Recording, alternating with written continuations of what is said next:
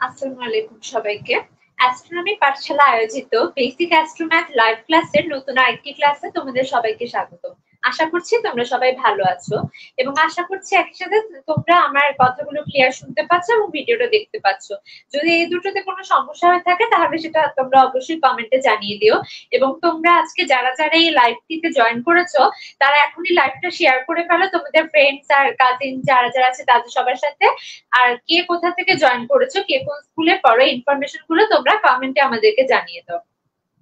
তো আমরা আজকে হয়তো যারা রুটিনটা দেখেছি, তারা সবাই জানি যে আজকে হচ্ছে আমাদের বেসিক পজিশনাল অ্যাস্ট্রোনমির উপর ফার্স্ট ক্লাস আর আজকে আমাদের ক্লাস টপিক হচ্ছে হরিজন্টাল কোঅর্ডিনেট সিস্টেম এই যে বিষয়টা, এটা কিন্তু আমাদের অনেকের কাছে নতুন তো আজকে ক্লাসটাতে একটু কনসেন্ট্রেট করতে হবে, তাহলে আমরা জিনিসগুলো ভালোভাবে বুঝতে পারব। আর এর আগে ইউনিট কনভার্সনের ক্লাসটা যারা দেখোনি, তাদেরকে আমি রিকোয়েস্ট করছি যে আজকের ক্লাসে পরে ওই ক্লাসটা আবার ভালো করে একবার দেখে এসো, তাহলে আজকের ক্লাসে কিছু কিছু বেসিক জিনিস বুঝতে তোমাদের ইজি হবে। তো আমরা ক্লাসটা স্টার্ট করছি। তার আগে তোমরা একটু কমেন্টে কাইন্ডলি জানাও যে কে কোথা থেকে জয়েন করেছ। এটা কাইন্ডলি একটু কমেন্টে জানাও।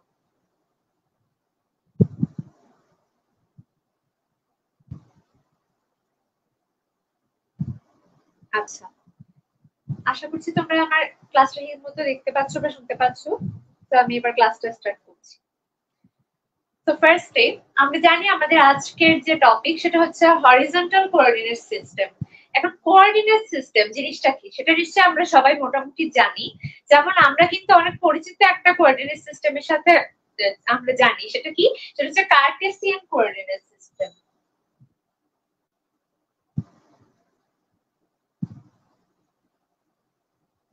হচ্ছে আমাদের কার্টেসিয়ান কোঅর্ডিনেট সিস্টেম এই কোঅর্ডিনেট সিস্টেমটা আমরা সবাই জানি। আমরা যারা ক্লাস নাইন পড়ি বা অনেকে হয়তো সেভেন এইট থেকে হয়তো অনেকে জানে ব্যাপারগুলো যে আমাদের যে এক্স ওয়াই অক্ষ দিয়ে যে এক ধরনের কোঅর্ডিনেট সিস্টেম দিয়ে আমরা স্কুলে ম্যাথ করি, সেটা হচ্ছে কার্টেসিয়ান কোঅর্ডিনেট সিস্টেম বা বাংলায় বলা হয় কার্টেসীয় স্থানাঙ্ক ব্যবস্থা।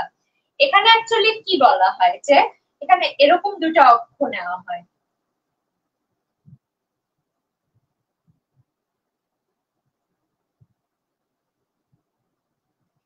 আমরা জানি আমাদের যে কার্তেসীয় স্থানাঙ্ক ব্যবস্থা, সেখানে দুইটা অক্ষ থাকে। একটা হচ্ছে এক্স অক্ষ আর একটা ওয়াই অক্ষ।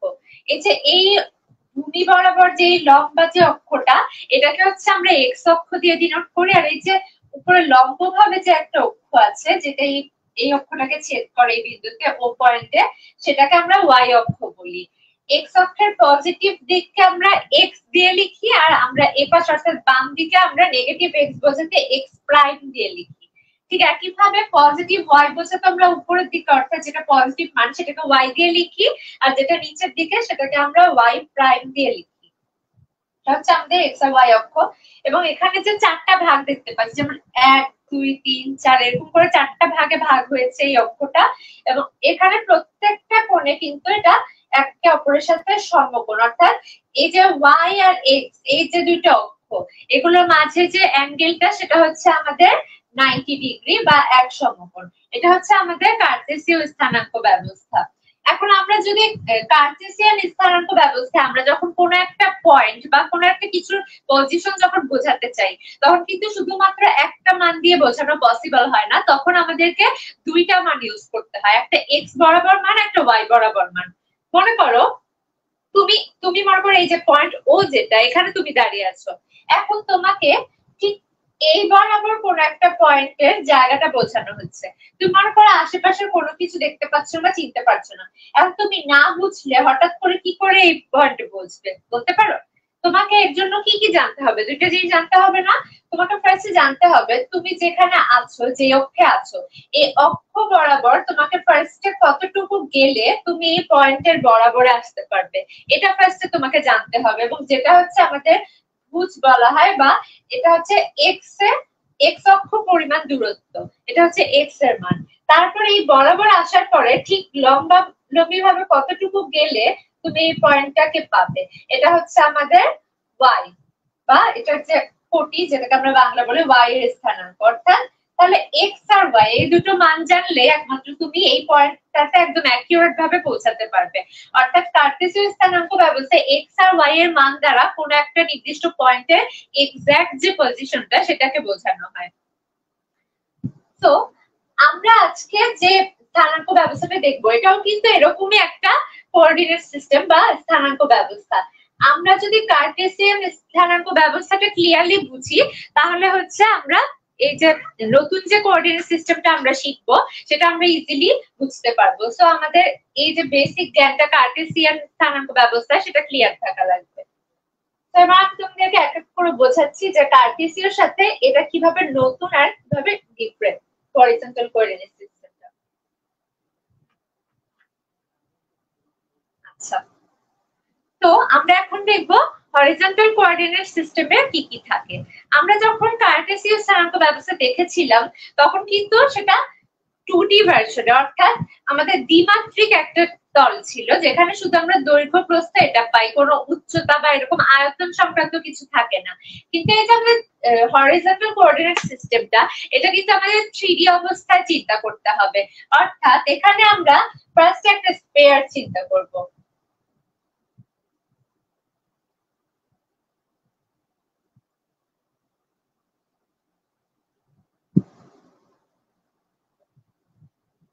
এটাকে আমরা ফার্স্ট একটা স্পেয়ার চিন্তা করতে পারি। স্পেয়ার মানে হচ্ছে কোন একটা সার্কেলের থ্রি ভার্সন বা গোলাকার যে জিনিসটা মানে ভিতরে আয়তন সহ যেটাকে চিন্তা করা হয় থ্রি ভার্সনের সার্কেলে সেটাকে হচ্ছে কি আমরা স্পেয়ার বলি।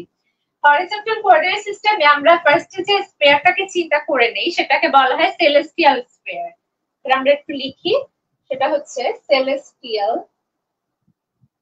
স্পেয়ার হচ্ছে আমাদের সেলেস্টিয়াল স্পেয়ার এখন এই সেলেস্টিয়াল স্পেয়ার জিনিসটা অ্যাকচুয়ালি কি? আর সেটা নিয়ে আমরা কেন এত পড়ালেখা করি? এটা আমাদের কেন দরকার? সেলেস্টিয়াল স্পেয়ার আমি তোমাকে যদি ইজি ভাবে বোঝাতে চাই, মনে করো, এখানে যারা তোমরা আছো, তারা অনেকেই নিশ্চয়ই নব থিয়েটারে গিয়েছো, তাই না? নিশ্চয় অনেকেই গিয়েছো, প্রায় হয়তো সবাই গিয়েছো।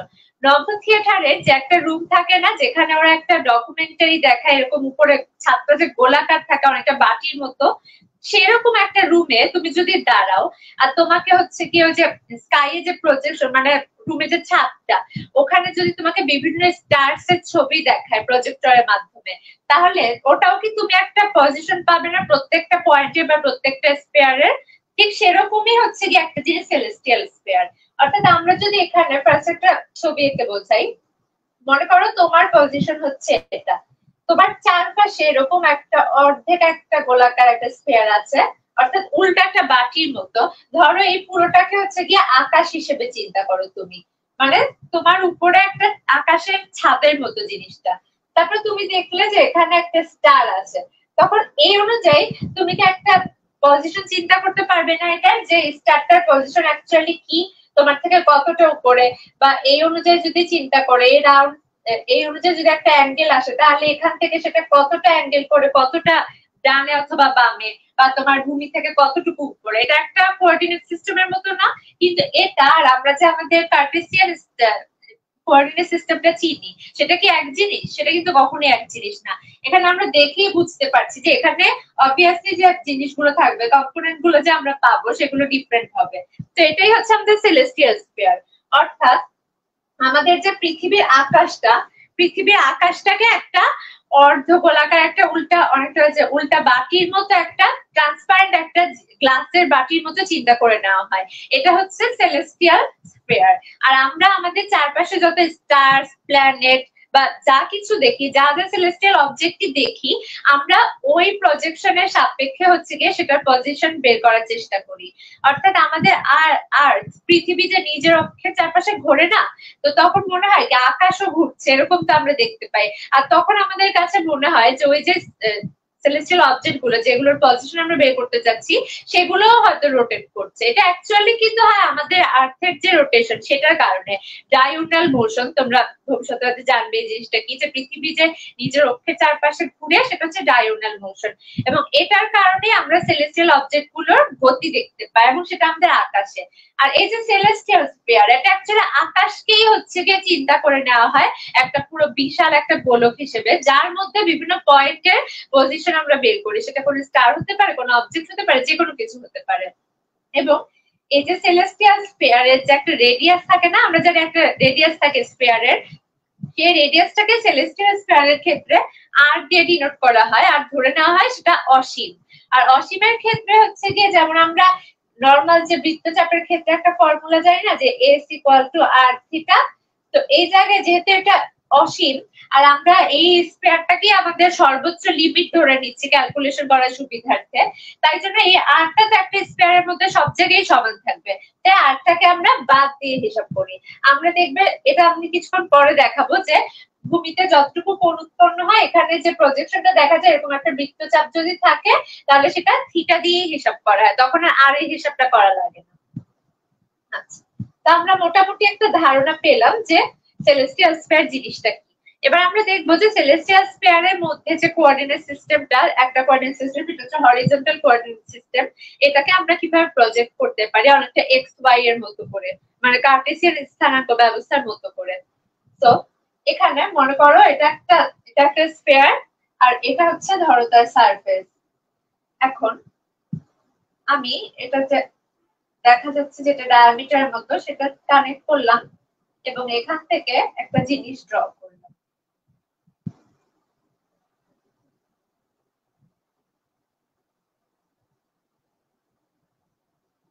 দেখো, এখানে একটা জিনিস দেখা যাচ্ছে, আমি যদি এই দাগগুলোকে মুছে দিই, এই যে জিনিসটা দেখা যাচ্ছে এখানে, এটাকে বলা হয় আমাদের হরিজন এটাকে আমরা হরিজন বলব। হরাইজন এটাই হচ্ছে আমরা হরাইজন এবং এটা হচ্ছে অ্যাকচুয়ালি এক্স ওয়াই অক্ষে আমরা যে এক্সটা চিন্তা করতাম, অনেকটা এক্স অক্ষের মতো। এটা হচ্ছে অনেকটা আমাদের এক্স অক্ষের মতো কাজ করে হরিজন আর হরিজন বলতে আমরা অ্যাকচুয়ালি কি বোঝাই জানো? আমরা যে পৃথিবীতে একটা সমতল ভূমির উপর দাঁড়িয়ে আছি না এখন, এই যে তুমি যেখানে দাঁড়িয়ে আছো, এই স্পেসটাকেই বা ভূমিটাকেই অ্যাকচুয়ালি হরিজন বলা হচ্ছে পৃথিবীর সাপেক্ষে।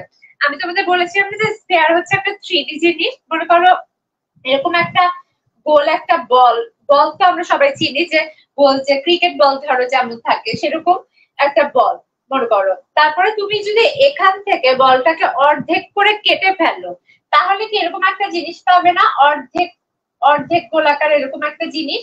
তো এই যে মাঝখানে কি একটা সার্কেলের মতো একটা জিনিস পাবে না, যেটা রেডিয়াস দিয়ে যায়? এই যে এখানে একটা তল পাবে না, তুমি যদি শুধুমাত্র এইটুকুকে আলাদা ভাবে চিন্তা করো, তাহলে ঠিক এই জিনিসটাই হচ্ছে আমাদের এই যে হোল প্রজেকশনটা এটা হচ্ছে আমাদের হরিজন যেটা সাপেক্ষে আমরা হরিজন্টাল কোঅর্ডিনেট সিস্টেমকে চিন্তা করব। তো আমি আগেই বলেছি মাত্র যে আমাদের এই সেলেস্টিয়াল স্পেয়ারের হরিজনকে আমরা অনেকটা কার্টেসিয়ান স্থানাঙ্ক ব্যবস্থার যে এক্স অক্ষ, সেটার মতো চিন্তা করতে পারি। ধরো আমি এটাকে বললাম যেটা আমাদের হরিজন এখন মনে করো আমরা দেখেছিলাম কি যে আমাদের এক্স অক্ষে আমাদের কার্টেসিয়ান কোঅর্ডিনেট সিস্টেম এটা যদি এক্স অক্ষ হয়, এটা ওয়াই অক্ষ। মানে এক্স অক্ষের যে একদম মূল বিন্দু বা কোঅর্ডিনেট সিস্টেমটার যে মূল বিন্দু, সেটার বরাবর এক্স অক্ষের উপর লম্ব আরেকটা অক্ষ আছে এবং সেটাকে আমরা ওই কোঅর্ডিনেট সিস্টেমে বলতাম ওয়াই অক্ষ। এখানেও কি সেরকম কিছু থাকতে পারে না? অবশ্যই পারে। এখানে যে জিনিসটা থাকে, আমি ফার্স্ট যেমন বলছিলাম এটা হচ্ছে আমাদের এই স্পেয়ারটার সেন্টার তাই আমি এটাকেও ও প্রাইম দিয়ে ডিনোট করি। এই যে সেন্টারটা এটা দিয়েও একটা অক্ষ যেতে পারে এবং এটা দিয়ে যদি আমি একটা লাইন টানি, এই লাইনটা স্পেয়ারটাকে একদম উপরের যে পয়েন্টটাতে ছেদ করবে, এই যে এই পয়েন্টটাতে এটাকে আমি জেড নামে লিখি এবং এই যে পয়েন্টটা এটাকে বলা হয় জেড এটাকে জেনিথ বলা হয় Z E N I T H এই যে সবচেয়ে উপরের যে পয়েন্টটা, এটাকে হচ্ছে গিয়ে এই স্থানাঙ্ক ব্যবস্থায় জেনিথ বলা হয়। আবার ঠিক একই ভাবে একদম এই লাইনটা বরাবর নিচে এই পয়েন্টটাতে যে ছেদ করে স্পেয়ারে এটাকে এন দিয়ে ডিনোট করলাম ছোট হাতের এন এবং এটাকে অ্যাকচুয়ালি নাদির বলা হয়। হচ্ছে N A D I R বা নাদির। আমরা কি দেখলাম? আমরা ফার্স্টে দেখলাম যে এক্স অক্ষ হিসেবে এখানে যেটা কাজ করে সেটা হচ্ছে হরাইজন হরাইজনের থেকে উপরের দিকে, একদম সেন্টার থেকে উপরে গিয়ে সর্বোচ্চ যে বিন্দুটাতে স্পেয়ারকে ছেদ করে এই কল্পিত লাইনটা এটা হচ্ছে গিয়ে সবচেয়ে উপরের বিন্দু বা একদম মাথার উপরের যে পয়েন্ট সেটা, এটাকে জেড দ্বারা ডিনোট করা হয় এবং এটাকে জেনিথ বলা হয়। আর একদম উল্টা দিকে নিচে যে বিন্দুটা, এটা অ্যাকচুয়ালি আমাদের ক্যালকুলেশনে ইউজুয়ালি লাগে না। আমরা সবসময় জেনিস নিয়ে কাজ করি। তারপরেও এটা শিখে রাখা ভালো যে এখানে একদম নিচের যে পয়েন্টটা সেটা যে এন দিয়ে ডিনোট করেছি আমি এখানে, আর এটাকে নাদির বলা হয়ে থাকে। N A D I R বা নাদির। এখন, আমরা যেমন কার্টেসিয়ান কোঅর্ডিনেট সিস্টেমে দেখেছিলাম যে এক্স অক্ষ আর ওয়াই অক্ষের মাঝখানে যে অ্যাঙ্গেলটা থাকে, সেটা হচ্ছে নাইনটি ডিগ্রি এখানেও কিন্তু তাই। এখানেও যে হরাইজন আর এই যে অক্ষটা জেড এন যে অক্ষটা, সেটার মধ্যে যে অ্যাঙ্গেলটা সেটা কিন্তু নাইনটি ডিগ্রি অর্থাৎ এই যে পুরোটুকু এই পুরোটুকুই হচ্ছে কিন্তু নাইনটি ডিগ্রি আমি বলেছিলাম না যে এখানে S equal to R theta এই ফর্মুলা আমরা বসাতে পারি, এখানে আরটাকে বিবেচনা করতে হবে না। তো এটা যখন নাইনটি ডিগ্রি এটা কি এই কোনটারই চাপ না এতটুকু? তার মানে এতটুকুর পরিমাণও অ্যাকচুয়ালি নাইনটি ডিগ্রি ঠিক একইভাবে এই যে এই পয়েন্ট থেকে, এই পয়েন্ট থেকে এই টোটালটা হচ্ছে ওয়ান এইটটি ডিগ্রি এবং টোটালটা হচ্ছে থ্রি সিক্সটি ডিগ্রি এখন এখন মনে করো, এখান থেকে তুমি, তোমার অবস্থান তো হচ্ছে গিয়ে ভূমির উপরে এখন ভূমির উপরে থেকে আমরা একটা স্টারের কথা শুনেছি না পোলারিস বা পোল স্টার এটা হচ্ছে আমাদের স্কাইয়ে একমাত্র মানে আমরা দেখতে পাই এমন একমাত্র স্টার যেটার পজিশন সব সময় সেম থাকে এবং কখনো যেটার পজিশন চেঞ্জ হয় না। ওই স্টারটার পজিশন অনুযায়ী কিন্তু প্রাচীনকালে নাবিকেরা যখন জাহাজ নিয়ে বের হতো, তখন এই স্টার কনস্টেলেশন এগুলোর মাধ্যমে তারা দিক নির্ধারণ করতে পারতো যে এটা অ্যাকচুয়ালি কোন দিক বা নর্থ কোনটা সাউথ কোনটা, এই দিকগুলো তারা বের করতে পারতো। তো নর্থ স্টারটা হচ্ছে আমাদের আর্সা মাইনার কনস্টেলেশনের আর্সা মাইনার কনস্টেলেশনের একদম শেষ স্টার মানে নিচের দিকে যে স্টারটা এবং সেটাকে বলা হয় পোলারিস আমাদের নর্দার্ন স্টার এটার নাম হচ্ছে পোলারিস এবং পোলারিস কে আমরা পোল স্টার বলে থাকি, বা বাংলা এটাকে ধ্রুব তারা বলা হয়। আর এই ধ্রুব তারা বা পোলারিস যে কনস্টেলেশন আছে, এটার নাম হচ্ছে আরসা মাইনর। এটার নাম হচ্ছে আরসা মাইনর। তোমরা হয়তো অনেকে গুগলে সার্চ দিয়ে দেখেছ যে এই যে ট্রান্সলেশন সেটা দেখতে কেমন। যারা দেখোনি, তারা এখন একটু গুগল করে নিতে পারো বা ক্লাস শেষে একটু গুগল করে নিতে পারো যে পোলারিস বা আরসা মাইনর এই দুটো জিনিস কি এবং দেখতে কীরকম। আচ্ছা তো এই পোল যেখানে থাকে, সেই দিকটা থেকে আমরা নর্থ চিহ্নিত করতে পারি। যেমন ধরো এখানে, ঠিক এই যে আমি পয়েন্ট দাগটা দিলাম, এখানে আমি এন দ্বারা যদি ডিনোট করি সরি এখানে যদি আমি পি দ্বারা ডিনোট করি তাহলে এটা হচ্ছে ধরো আমার পোল স্টার বা পোলারিসের অবস্থানটা ঠিক এই জায়গায়। আর এই যে আমরা যে বিভিন্ন চাপ দেখতে পাচ্ছি না, বৃত্তচাপ এই স্পেয়ারটার মধ্যে জেনিথ থেকে পোল স্টার সহ যে আর্কটা তৈরি হয় বা বৃত্তচাপটা তৈরি হয়, সেটাকে যদি আমরা কন্টিনিউ করে আঁকতে থাকি, সেটা ঠিক হরাইজনের যেই জায়গাটায় ছেদ করবে না, এটা হবে আমাদের নর্থ বা উত্তর দিক। এই যে এখানে যদি মনে করো এই যে দেখো, এই যে জেনিক থেকে পি হয়ে এই যে এই বরাবর যদি চলে যায়, তাহলে খেয়াল করো তার সে কিন্তু আমাদের যে এই যে হরাইজনের যে প্লেনটা সেটাকে ঠিক এই পয়েন্টটাতে ছেদ করল।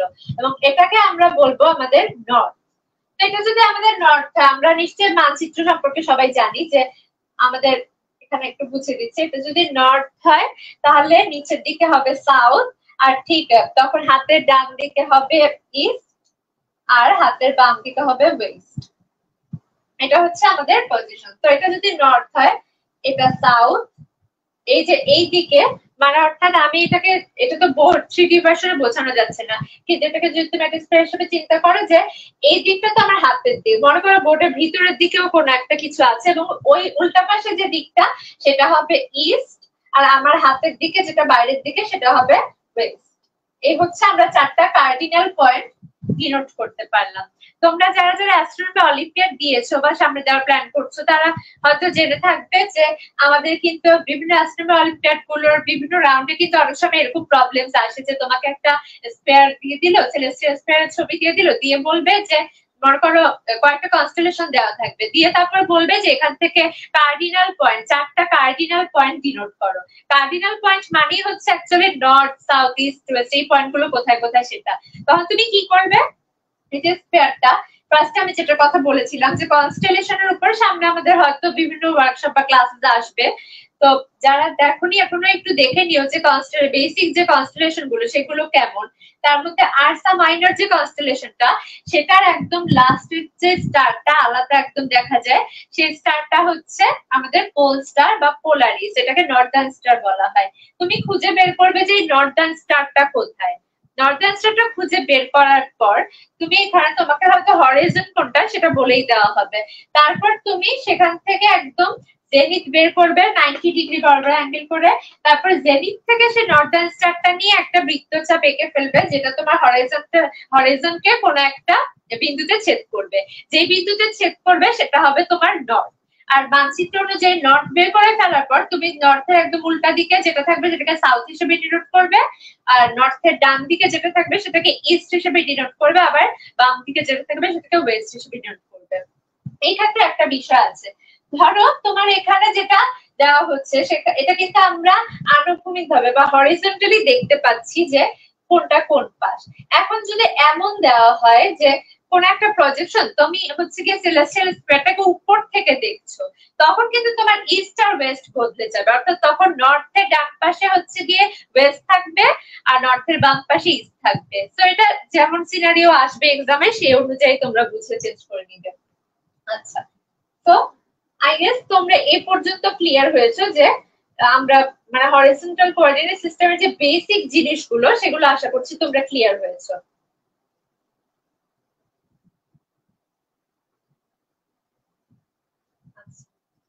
এবার আমি আবার নতুন করে কিছু জিনিস বোঝাবো প্লাস হচ্ছে কি আগের জিনিসগুলো হালকা করে একবার রিকেপ করে দেব।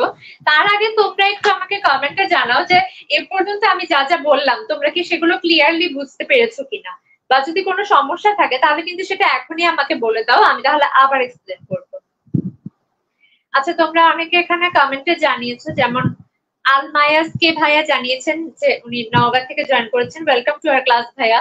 হাসিবুল হোসেন ইবাদ ভাইয়া বলেছেন, ঢাকা থেকে এসে জয়েন করেছি। আচ্ছা ওয়েলকাম টু আর ক্লাস ভাইয়া। তারপর আরও অনেকে অনেক কমেন্ট করেছ। আল মায়াস কে ভাইয়া বলেছেন অ্যাস্ট্রোনমি পাঠশালা আপনাদের একই সাথে ইউটিউবে আপলোড করা উচিত, কারণ ফেসবুক অপেক্ষা ইউটিউব বেশি কমফোর্টেবল আচ্ছা ভাইয়া হ্যাঁ অবশ্যই আমাদের যে ভিডিওগুলো এগুলো কিন্তু ধীরে ধীরে মানে ফেসবুকে লাইভটা করার কিছুদিন পরে ইউটিউবে আপলোড করা হচ্ছে। যাদের যাদের এখানে দেখতে সমস্যা হয়েছে বা যারা মিস করেছেন, দেখতে পারেনি তারা পরবর্তীতে আমাদের ইউটিউব চ্যানেল থেকেও এই প্লেলিস্টটা থেকে ভিডিওগুলো দেখে নিতে পারবেন। তো আশা করছি সবাই এ পর্যন্ত ক্লিয়ার সবকিছু বুঝতে পেরেছেন। আচ্ছা। আমি এবার তাহলে আরেকবার এক্সপ্লেন করে দিচ্ছি। আমরা যে হরিজন্টাল কোঅর্ডিনেট সিস্টেমটা শিখব, এই কোঅর্ডিনেট সিস্টেমটাকে আরেকটা নামে আমরা চিনি, সেটা হচ্ছে অ্যাল্ট অ্যালজিমাস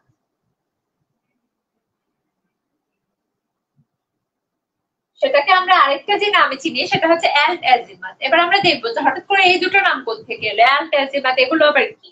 তো আমরা ফার্স্টে এই যে কোঅর্ডিনেট সিস্টেমটা যেমন কার্টেসিয়ান কোঅর্ডিনেট সিস্টেম যেমন, ওখানে প্রবলেম সলভ করতে হলে এক্স বাই অক্ষ আঁকতে হতো। এখানেও আমাদের প্রবলেম সলভ করতে গেলে সবসময় একটা স্পেয়ার হরিজন জেনিথ এই জিনিসগুলো আঁকতে হবে। এখানে আমরা ফার্স্ট একটা স্পেয়ার এঁকে নিচ্ছি।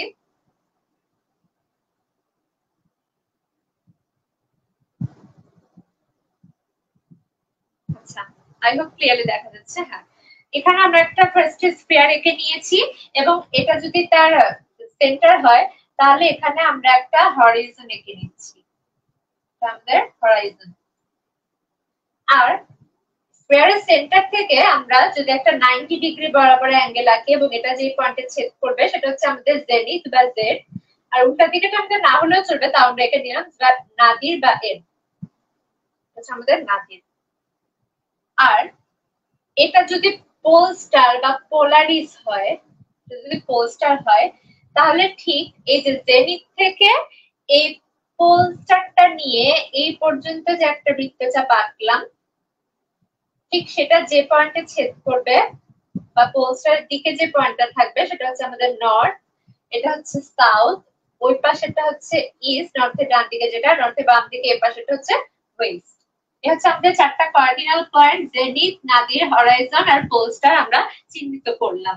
এবার আমরা কিছু বেসিক জিনিস দেখব সেলেস্টিয়াল স্পেয়ার এর ব্যাপারে। এ পাশে আমি আরেকটা সেলেস্টিয়াল স্পেয়ার রেখে নিচ্ছি সেটা বোঝানোর জন্য। এটা যদি একটা সেলেস্টিয়াল স্পেয়ার হয়, তাহলে এই যে এখান দিয়ে একটা বৃত্তচাপ যায় না, এখান দিয়ে আমরা একটা বৃত্ত আঁকতে পারি না যেটা আমরা যদি কাটি, কোন একটা স্পেয়ারে বা নর্মাল তোমার কাছে গোলাকার কোন একটা টমেটো আছে, সেই টমেটোটাকে তুমি যদি স্লাইস করে যখন কাটো একদম মাঝখানের যে স্লাইসটা ওটা কি সব থেকে বড় হয় না?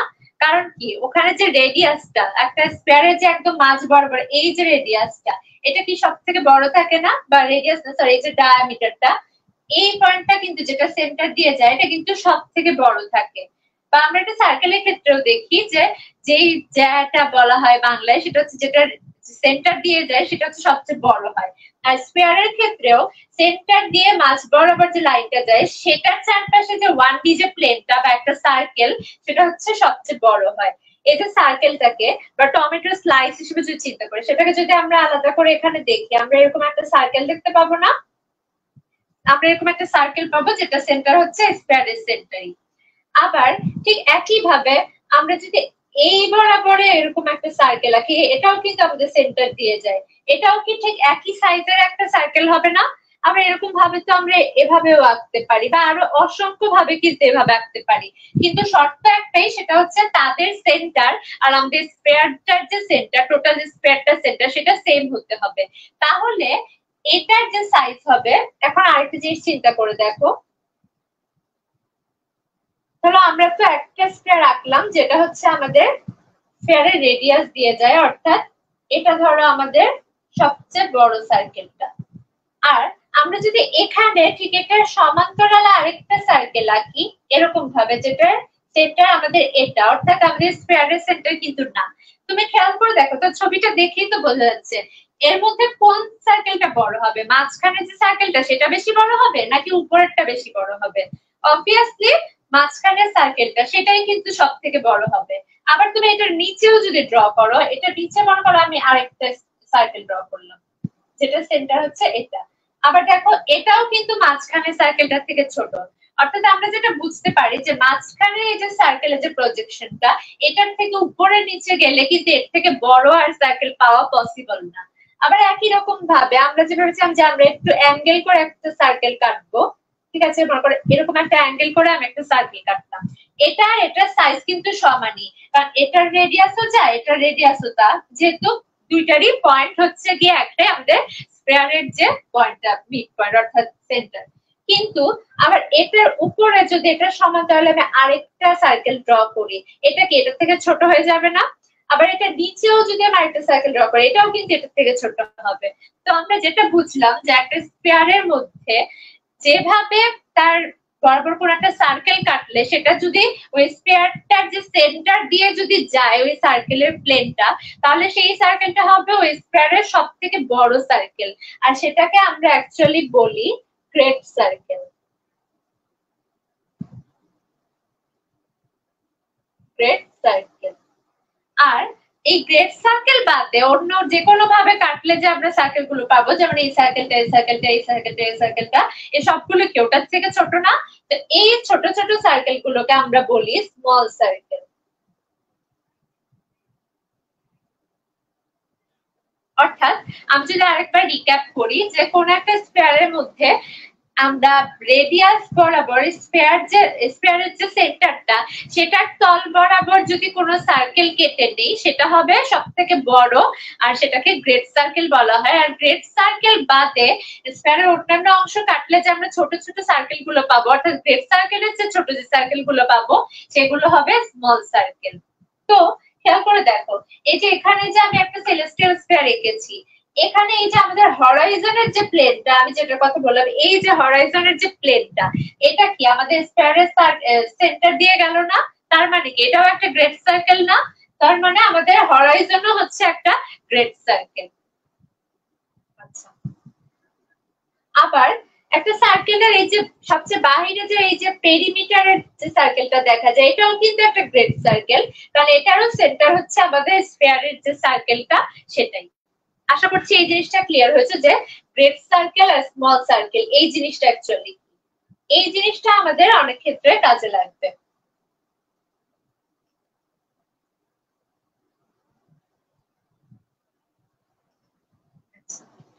এবার আমরা এখানে আবার ফিরে আসি। এখানে দেখতে পাচ্ছি যে আমাদের যদি ক্লিয়ার করে নিই ছবিটা। এই যে এটা হচ্ছে আমাদের হরাইজন আর এটা হচ্ছে আমাদের জেনি জেনিতে লাইটটা আপাতত ভাবে মুছে দিলাম। এটা হচ্ছে আমাদের হরাইজন আর আমি বলেছি যেটা থেকে নাইনটি ডিগ্রি অ্যাঙ্গেলে এখানে থাকে জেনি তার মানে এই যে পুরোটুকু এটার দৈর্ঘ্য হচ্ছে, এটা যে লেগটা সেটা হচ্ছে নাইনটি ডিগ্রি তো এখন বলব, তুমি ভূমিতে দাঁড়িয়ে আছো, তুমি আকাশের কোন একটা কিছু, কতটুকু উঁচুতে এটা তুমি পরিমাপ করতে চাও। তাহলে কি করবে তুমি? এই যে এখানে, মনে করো, তোমার পজিশনটা হচ্ছে এখানে। সাপোজ তোমার পজিশনটা হচ্ছে ঠিক এই জায়গাটাতে।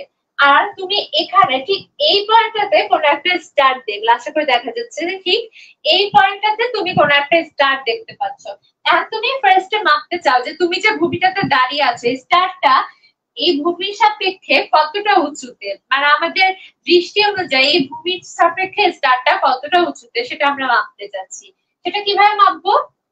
ফার্স্টে আমরা হচ্ছে এই যে স্টারটা থেকে একটা লাইন ড্র করব। যেহেতু এটা একটা সার্কেল এখানে লাইন ড্র করা মানে একটা আর্কের মতো।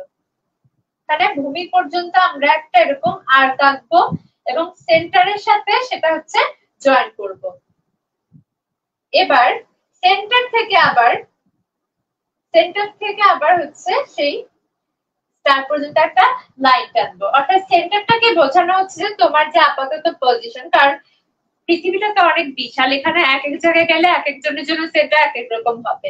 এখন যেহেতু এটা অবজার্ভার বেসড একটা কোঅর্ডিনেট সিস্টেম তোমার যে পজিশন সেটাই হচ্ছে এখানে সেন্টার আর এই পজিশন থেকে স্টারটা পর্যন্ত একটা লাইন টানবো, আবার এই এখান থেকে স্টারটার যে একদম একটা আর্ক টানলে সেটা যে জায়গায় হচ্ছে গিয়ে এখানে এসে ছেদ করবে হরাইজনে সেই পর্যন্ত একটা লাইন টানবো। আর এটাকে যদি আরেকটু ভালোভাবে ব্যাখ্যা করে যেটা কেন, সেটা হচ্ছে আমাদের যে জেনিথ সে জেনিথ থেকে স্টারটা দিয়ে আমরা একটা আর্ক আঁকবো যেটা আমাদের হরাইজনকে ছেদ করে কোন একটা সার্টিন পয়েন্টে তো ধরো আমাদের হরাইজনকে এই যে পয়েন্টটাতে ছেদ করল, তার মানে আমাদের লাইনটা হচ্ছে এটা।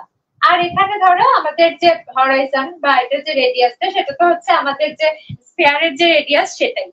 তো এই যে উচ্চতাটা, ভূমি থেকে উচ্চতাটা, এখানে যদি একটা অ্যাঙ্গেল ক্রিয়েট হয়, সেটাকে যদি আমরা থিটা নাম দিই, তাহলে আমরা কি বলেছিলাম যে S equal to R theta এটা যদি এস হয়, তাহলে এটা হচ্ছে আর হচ্ছে স্পেয়ারের যে রেডিয়াসটা আর থিটা আর ইন্টু থিটা এটা হবে আমাদের উচ্চতার পরিমাণ বা এটার যে অ্যালটিটিউড বা উচ্চতা সেটা। আর আমরা কি বলেছিলাম যে আমরা এখানে রেডিয়াসটা বিবেচনা করব না, অর্থাৎ এস ইকুয়াল টু আমরা ডিরেক্ট বলে দিতে পারি যে থিটা তার মানে এই যে অ্যাঙ্গেলটা এটা তো একটা কোণের পরিমাণ আসবে, তাই না? কত ডিগ্রি এটা? এই যে কোণের পরিমাণটা, এটাই হচ্ছে আমাদের অ্যালটিটিউড বা উচ্চতা। তার মানে অ্যালটিটিউড হচ্ছে আমাদের অ্যালটিটিউড হচ্ছে বেসিক্যালি হরাইজন থেকে উচ্চতা। হরাইজন থেকে উচ্চতা বা হাইট অর্থাৎ একটা জিনিস বা একটা সেলেস্টিয়াল একটা সেলেস্টিয়াল অবজেক্ট তোমার যে আপাত ভূমি যেটা তুমি চিন্তা করছ বা হরাইজন সেটাতে কতটুকু উপরে? এটা মাপার জন্য যে তুমি একটা অ্যাঙ্গুলার লেন্থ ইউজ করছ, অর্থাৎ একটা অ্যাঙ্গেল যে ইউজ করছ, এটার যে পরিমাণটা, সেটাই হচ্ছে আমরা হরিজন্টাল কোঅর্ডিনেট সিস্টেমে অ্যালটিটিউড বলে থাকি। আর বাংলায় এটাকে উচ্চতাও বলা হয়ে থাকে, যদিও অ্যালটিটিউড নামটাই তোমরা মনে রাখার ট্রাই করবে। আচ্ছা। তো আমরা এখানে দেখলাম, হয়তো এই ছবিটার জন্য ক্লিয়ারলি বোঝা যাচ্ছে না, আমি একটু নতুন করে আবার রেখে দিচ্ছি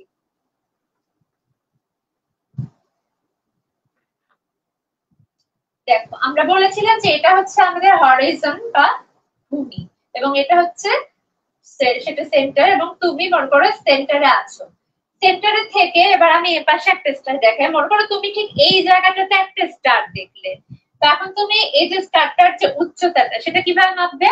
এই যে জেনিথ যে পয়েন্টটা বলেছেন না যে আমাদের মাথার একদম উপরের যে পয়েন্টটা নাইনটি ডিগ্রি বরাবর, এটাকে আমরা জেনিথ বলব। এই যে জেনিথ থেকে স্টারটা দিয়ে একটা গ্রেড সার্কেল আঁকবে তুমি, এই যে এরকম করে একটা গ্রেড সার্কেল আঁকবে। খেয়াল করে দেখো, এটারও কিন্তু সেন্টার এইটাই।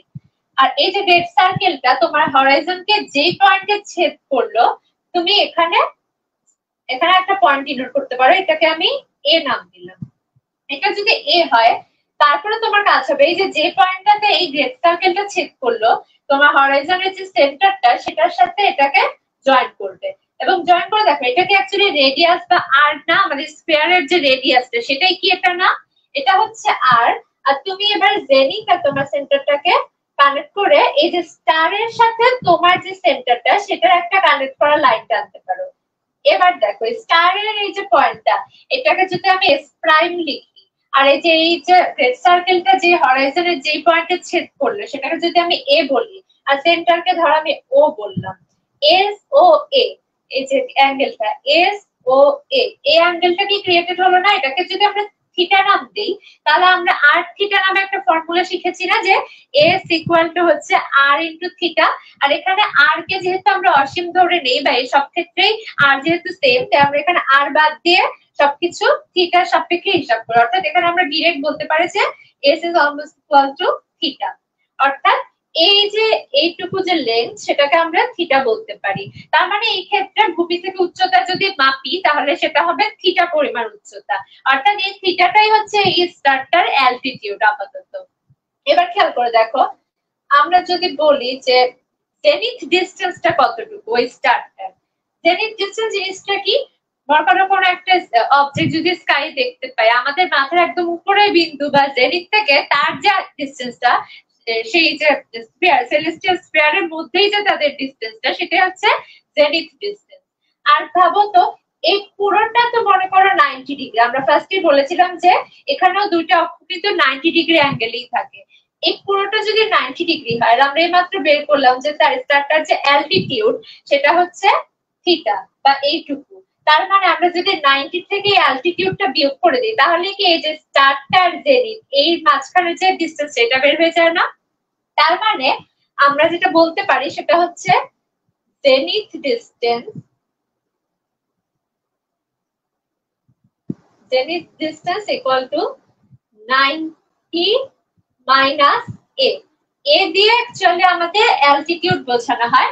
এত ডিগ্রি হচ্ছে আমাদের জেনিথ ডিস্টেন্স অর্থাৎ কোন একটা অবজেক্ট যে অ্যালটিটিউডে থাকবে নাইনটি থেকে যদি আমরা সেই অ্যালটিটিউডটা মাইনাস করে দেই, সেটা হবে ওই অবজেক্টটার জেনিথ ডিস্টেন্স তো আশা করছি তোমরা এ পর্যন্ত বুঝলে। তারপর আমি একবার সহজভাবে রিক্যাপ করে দিচ্ছি। সেটা হচ্ছে যে আমাদের মাথার উপরের যে বিন্দুটাকে আমরা চিন্তা করি, এক্ষেত্রে যে হরিজন্টাল কোঅর্ডিনেট সিস্টেম একদম 90 ডিগ্রি বরাবর যে বিন্দুটা, সেটা হচ্ছে জেনিথ আর এই জেনিথ থেকে হরাইজনের জেনিথ থেকে একটা গ্রেড সার্কেল আঁকলে সেটা হরাইজনকে যেই পয়েন্টে ছেদ করবে, ওই পয়েন্ট পর্যন্ত যে ডিস্টেন্সটা সেটা হচ্ছে 90 ডিগ্রি অর্থাৎ এটারও চারটা ভাগে কিন্তু এই কার্টেসিয়ান কোঅর্ডিনেট সিস্টেমের মতোই সমান। আর এই 90 ডিগ্রি বরাবর, এর মধ্যে আমরা কোন একটা সার্টেন পজিশনে যদি কোন একটা স্টার বা কোন অবজেক্টকে দেখি, তাহলে আমরা যেটা করব, এই যে স্টারটা সেটার থেকে জেনিথ নিয়ে জেনিথ থেকে সেই স্টারটা দিয়ে একটা গ্রেড সার্কেল আঁকবো, যেটা আরেকটা পয়েন্টে সেই যে অবজেক্টটা হরাইজনটা সেখানে ছেদ করবে। এবং যেই পয়েন্টে হরাইজনকে ছেদ করবে, ওই পর্যন্ত হচ্ছে আমি আমার হরাইজনের সেন্টার থেকে জয়েন করে দিব। এবং জয়েন করে আবার হরাইজনের সেন্টার থেকে ওই স্টারটা পর্যন্ত একটা লাইন টানবো। তারপরে এই দুটো লাইনের মাঝখানে একটা যে অ্যাঙ্গেল ক্রিয়েট হবে, এটাই হচ্ছে এই ডিস্টেন্সটা বা আমাদের ওই যে স্টারটা সেটার অ্যালটিটিউড আর আমরা যেহেতু জানি যে এই যে হরাইজন থেকে জেনিথ পর্যন্ত টোটাল যে ডিস্টেন্সটা এটা হচ্ছে আমাদের নাইনটি ডিগ্রি তো আমরা যদি জেনিথ থেকে ওই স্টারটার কতটুকু ডিস্টেন্স এটা বের করতে চাই, যেটাকে জেনিথ ডিস্টেন্স বলা হয় অ্যাস্ট্রোনমির ভাষায়, সেটা হচ্ছে গিয়ে সেটা করার জন্য আমরা নাইনটি থেকে এই যে এতটুকু, অর্থাৎ তার যে অ্যালটিটিউডটা সেটা মাইনাস করে দিলে আমরা জেনিথ ডিস্টেন্স বা এতটুকু অংশ পেয়ে যাব। এটা হচ্ছে আমাদের ফার্স্ট যে জিনিসটা অ্যালটিটিউড সেটা গেল। আর অ্যালটিটিউডের নাম থেকে এখানে অ্যাল্ট অ্যাজিমাস সিস্টেম বলা হয় হরিজন্টাল কোঅর্ডিনেট সিস্টেমকে তো তোমরা বুঝতেই পারছ, যেহেতু এখানে আরেকটা নাম আছে অ্যাজিমাত তার মানে আমাদের এই জিনিসটাও এখন জানতে হবে। এই জিনিসটা কি, সেটাই আমরা এবার দেখব।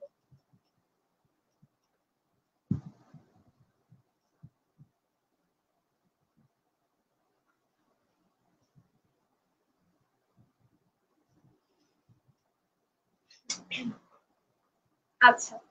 আমরা পরবর্তী টপিকে যাওয়ার আগে তোমরা আমাকে বলো যে অ্যালটিটিউড নিয়ে সবকিছু কি তোমরা ক্লিয়ারলি বুঝেছ কিনা? কারণ অ্যালটিটিউড যদি বুঝে না থাকো, তাহলে পরবর্তী পার্টটা হয়তো বুঝতে একটু ঝামেলা হবে। তবুও তোমরা পরে রেকর্ডিং দেখলে আশা করছি সব বুঝে যাবে। তারপরেও আমাকে তোমরা একটু কাইন্ডলি জানাও যে অ্যালটিটিউডের পার্টটা কি তোমরা সবাই ক্লিয়ার কিনা।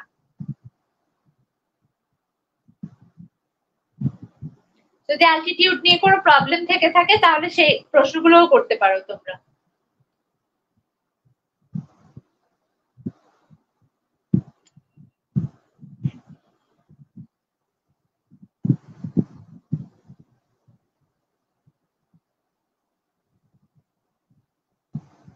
আচ্ছা।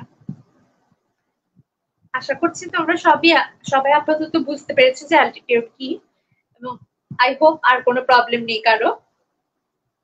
আমি এবার তাহলে প্রসিড করি। এবার আমরা বুঝব, আমরা অ্যালটিটিউড কি সেটা দেখলাম। এবার আমরা দেখব যে অ্যাজিমাত জিনিসটা কি। আমরা ফার্স্টে আবারও একটা স্পেয়ার রেখে নিচ্ছি।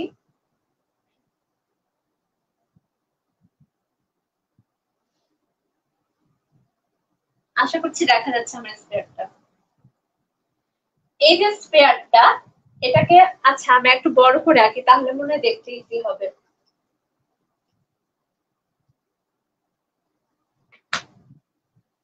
আমি যদি একটা স্পেয়ার এঁকে নিই ফার্স্টে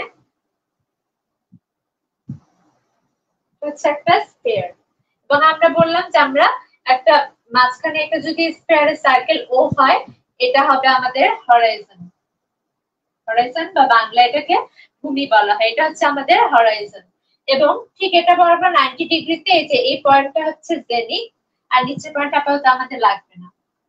আর আমরা পরে এখানে তুমি হচ্ছে আছো সেন্টারে এবং এখানে তুমি একটা সার্টেন স্টার দেখতে পেলে একদম এই পজিশনটাতে আমরা জানি এখন যে অ্যালটিটিউড কীভাবে বের করতে হয়। আমরা জেনিক থেকে স্টারটা দিয়ে একটা গ্রেড সার্কেল আঁকবো সেটার অর্ধেক হলেই হবে। এবং এই সার্কেলটা আমাদের এখানে ছেদ করে, আমরা এই পয়েন্টটা থেকে এই পয়েন্টটা পর্যন্ত একটা রেডিয়াসের দাগ টানবো, তারপরে এই সেন্টার থেকে স্টার পর্যন্ত একটা দাগ টানবো, তারপরে যে মাঝখানে অ্যাঙ্গেলটা ক্রিয়েট হয় সেটা আচ্ছা এটাকে আমরা এ দিয়ে ডিনোট করে এ আর আমাদের এই পরিমাণটাই হচ্ছে আমাদের যে এই স্টারটা অ্যালটিটিউড বা এ আমরা বলতে পারি এটা হচ্ছে আমাদের অ্যালটিটিউড এবার আমরা দেখব যে অ্যাজিমাথ জিনিসটা তাহলে কি। এখানে আমরা ফার্স্টে বলেছিলাম যে আমরা এখানে, যেহেতু এটা একটা স্পেয়ার আমরা এরকম লম্বা আরও অনেকগুলো দাগ পাবো। যেমন আমরা যদি এই পাশে আরও একটা এরকম সার্কেল এঁকে বোঝাই জিনিসটা, যে এটা যদি একটা স্পেয়ার হয়, তাহলে এটা যদি হচ্ছে গিয়ে সেন্টার হয়। তাহলে মনে করো, এরকম ভাবে কিন্তু আমরা অনেকগুলো লাইন এখানে আঁকতে পারি। এবং এটা কিন্তু প্রত্যেকটা এক একটা গ্রেড সার্কেলের পার্ট হতে পারে। এই যে এই লাইনগুলো এই লাইনগুলোকে বলা হয় হরিজন্টাল কোঅর্ডিনেট সিস্টেমের ভার্টিক্যাল ভার্টিক্যাল আর এই যে মেইন লাইনটা যেটা একদম হরাইজনকে ছেদ করে একদম হরাইজনের উপর দিয়ে যায়, অর্থাৎ এখান থেকে যদি আমরা অ্যাঙ্গেল মাপি, এই পরিমাণে মাপি বা এই পাশ দিয়ে মাপি, এখানে কি একদম জিরো ডিগ্রি থাকবে না? একদম উপরে যেই পয়েন্টটাতে জেনিথ দিয়ে যে যায়, অর্থাৎ মেইন কথা জেনিথ দিয়ে নাইনটি ডিগ্রি অ্যাঙ্গেলে যে স্ট্রেট সার্কেলটা আঁকলে এখানে যে ছেদ করে সেই যে সার্কেলটা এই অর্ধেকটুকুকে আমরা বলতে পারি প্রিন্সিপাল ভার্টিক্যাল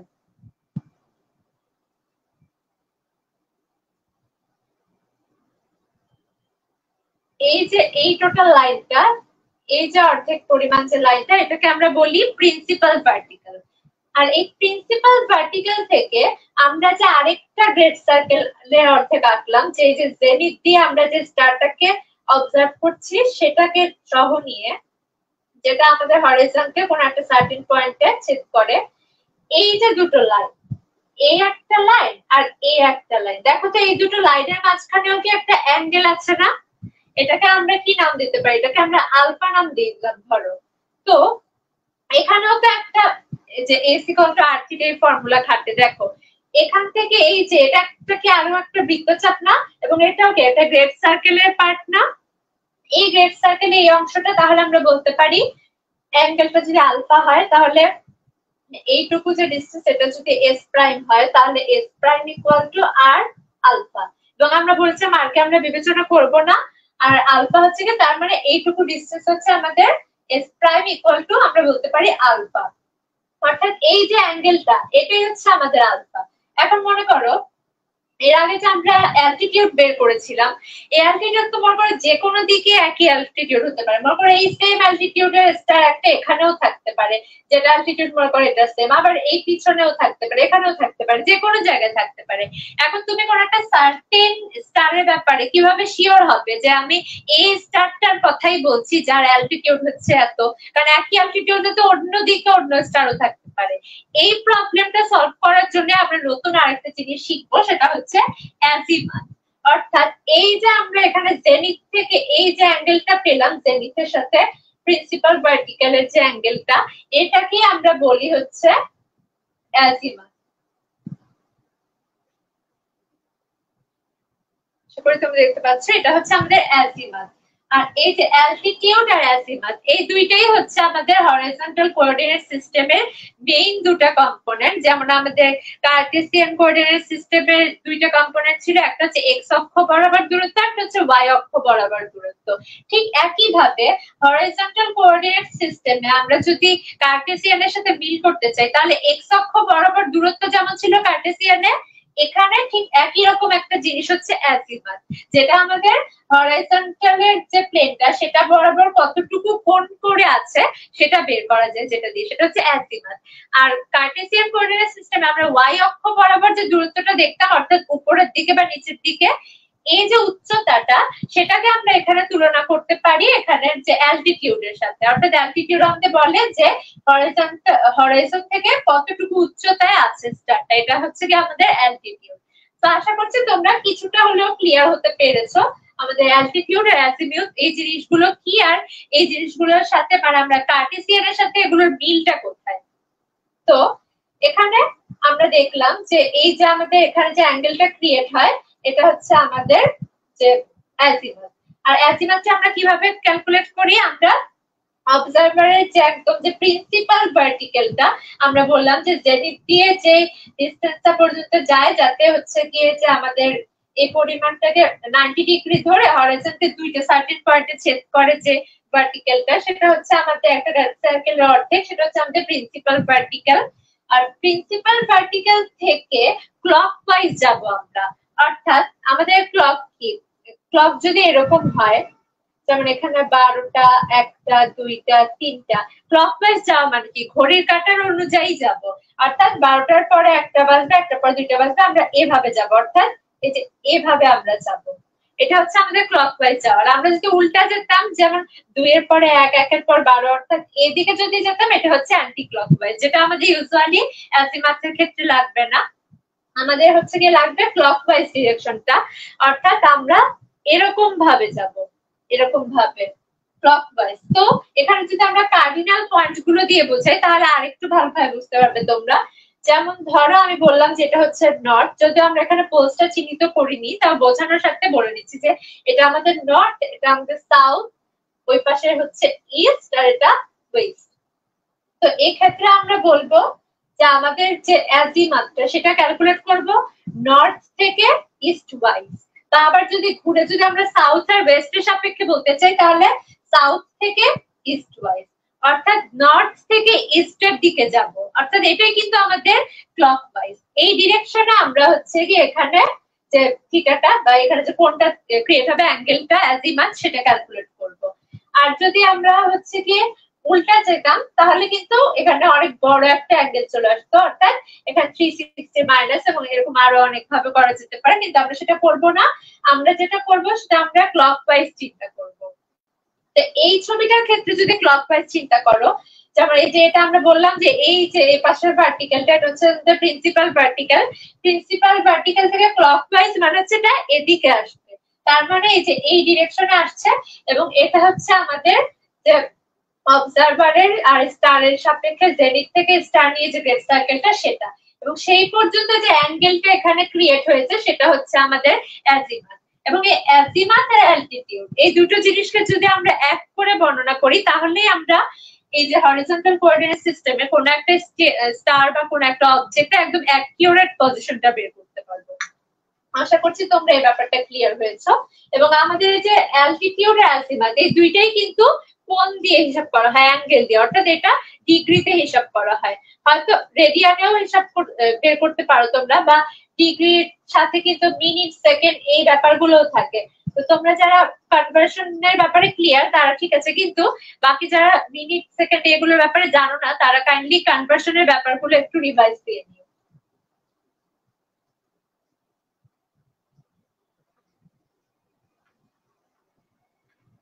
আচ্ছা। এ পর্যন্ত আমি যা যা বললাম, তা কি সবকিছু ক্লিয়ারলি বুঝতে পেরেছ কিনা এটা বলো।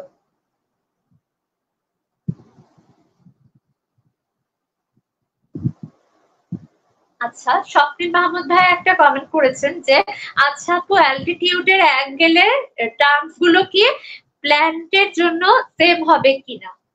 অর্থাৎ মেবি ভাইয়া হচ্ছে গিয়ে বুঝেছেন যে অ্যালটিটিউডের অ্যাঙ্গেলটা কি সব প্ল্যানেটের জন্য সেম হবে কিনা বা এরকম? হ্যাঁ এটা সব প্ল্যানেটের জন্য সেম হবে। এখানে যে পজিশনাল অ্যাস্ট্রোনমির ব্যাপারগুলো, এগুলো অ্যাকচুয়ালি প্ল্যানেট বা স্টারের সাপেক্ষে আলাদা না। আমাদের হরিজন্টাল কোঅর্ডিনেট সিস্টেমকে বলা হয় অবজারভার ডিপেন্ডেন্ট বা অবজারভার বেসড অর্থাৎ অবজারভার যদি পৃথিবীতে থাকে, সে একটা স্পেয়ার চিন্তা করবে পৃথিবীর সাথে। আবার অবজারভার যদি মার্সে থাকে বা অন্য কোনো প্ল্যানেটে যেখানে খুশি থাকুক, সে তার যে তার বেস করে অর্থাৎ তার সাপেক্ষে একটা স্পেয়ার চিন্তা করে নিবে। এবং ওই অনুযায়ী এই একই ভাবে সবকিছু ক্যালকুলেট করবে। এবং তার নিজের অ্যান্টিটিউড বা অবস্থান যাই হোক না কেন, সবকিছু সে একই ভাবে ক্যালকুলেট করবে। অর্থাৎ মহাবিশ্বের যে কোনো জায়গায় হরিজন্টাল কোঅর্ডিনেট সিস্টেম অনুযায়ী যদি কোন স্টার বা সেলেস্টিয়াল অবজেক্টের যদি লেন্থ মাপতে চাই বা মানে পজিশনটা বের করতে চাই, তাহলে আমাদেরকে এই রুলটাই অবলম্বন করতে হবে। আশা করছি ভাই আপনার অ্যান্সার পেয়েছেন। আচ্ছা এবার আমরা একটু যে কোণের যে ইউনিটগুলো সেগুলো একটু দেখে নিই। যেমন রেডিয়ানের ব্যাপারে আশা করছি যে তোমরা সবাই মোটামুটি জানো। ফার্স্টে আমরা ডিগ্রির ব্যাপারগুলো একটু বলি। আচ্ছা রেডিয়ানটা ফার্স্টে বলে নিই।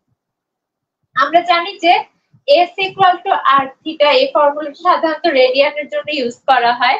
যদিও এখানে হচ্ছে গিয়ে যেহেতু আমরা আর কে বিবেচনাই করছি না, সেক্ষেত্রে আমাদের এটা খুব একটা বেশি ম্যাটার করবে না। আর আমরা এখানে এবার যে ডিগ্রির কয়েকটা জিনিস আমরা একটু দেখে নিব। আমরা ডিগ্রির সাথে কয়েকটা জিনিস দেখি। যেমন এই যে চিহ্নটা, একটা ছোট গোল যে চিহ্ন এটা দিয়ে ডিগ্রি বোঝানো হয়, পাশে দেখবে, এখানে যারা নাইন টেনে পড়ো, তোমরা হয়তো আরকে পড়ে ফেলেছো ইতিমধ্যে যে একটা এরকম বারের মতো চিহ্ন দিয়ে মিনিট বোঝানো হয়, আর একদম সেম ভাবে দুইটা বারের মতো চিহ্ন দিয়ে সেকেন্ড বোঝানো হয়। আর এদের মধ্যে সম্পর্ক হচ্ছে এক ডিগ্রি সমান সমান সিক্সটি মিনিট। অর্থাৎ এক ডিগ্রিকে সমান ষাটটা ভাগ করলে প্রতি ভাগে আমরা যতটুকু অংশ পাই সেটাকে আমরা ওয়ান মিনিট বলব। আর আবার এই মিনিটের সাথে সেকেন্ডের যে সম্পর্ক, সেটা হচ্ছে one minute equal sixty second এর সাথে কিন্তু সময়ের যে সেকেন্ড বা মিনিট এগুলোর কোনো সম্পর্ক নেই। এখানে হচ্ছে আরেকটা এরকম যে, এক মিনিটকে আবার সমান সাতটা ভাগে ভাগ করলে আমরা প্রতি এক ভাগ যে অংশটা পাবো, সেটা যে লেন্থটা সেটা যে পরিমাণটা, সেটা হচ্ছে ওয়ান সেকেন্ড এটা হচ্ছে আমাদের মিনিট সেকেন্ড আর ডিগ্রির মধ্যে যে সম্পর্ক সেটা। এবার আমরা দেখব রেডিয়ান আর ডিগ্রির মধ্যে সম্পর্কটা। রেডিয়ানকে সাধারণত এইভাবে প্রকাশ করা হয়। ওয়ানের উপর এরকম ছোট্ট করে একটা সি লিখলে এটাকে আমরা বুঝব যে এটা হচ্ছে one radian one radian equal হচ্ছে one eighty by pi degree pi কি জিনিস আমরা জানি? যে বৃত্তের ব্যাস আর পরিধির যে একটা অনুপাত সেটা হচ্ছে পাই এবং যেটার মান হচ্ছে একটা কনস্ট্যান্ট সেটাকে লেখা হয় three point one four one six এটা হচ্ছে পায়ের একটা আসন্ন মান। আর এখানে আমরা যদি এক ডিগ্রি থেকে রেডিয়ানকে যদি আমরা ডিগ্রিতে হিসাব করতে চাই, সেটা হবে one eighty by pi degree আবার উল্টাটা যদি করতে চাই যে এক ডিগ্রিতে কত রেডিয়ান সেটা যদি বের করতে চাই, তাহলে পুরো ব্যাপারটা উল্টে যাবে। এক ডিগ্রি সমান সমান হচ্ছে পাই বাই একশো আশি রেডিয়ান তো আশা করছি তোমরা ব্যাপারগুলো ক্লিয়ারলি বুঝতে পেরেছ।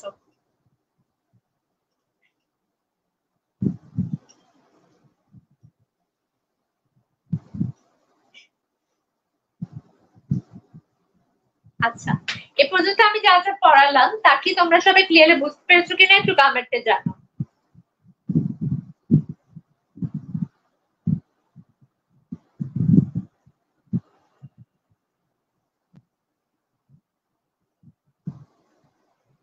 আচ্ছা।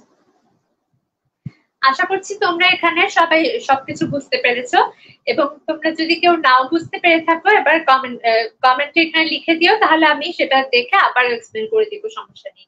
আচ্ছা স্বপ্নিল মাহমুদ ভাইয়া বলেছেন যে একদম ক্লিয়ার ওকে থ্যাংক ইউ ভাইয়া। আচ্ছা তাহলে এবার আমরা সামনের টপিকে চলে যাই। এবার একটা জিনিস আমাদের দেখা বাকি এই সেলেস্টিয়াল স্পেয়ার থেকে, সেটা হচ্ছে, এটা যদি একটা স্পেয়ার হয়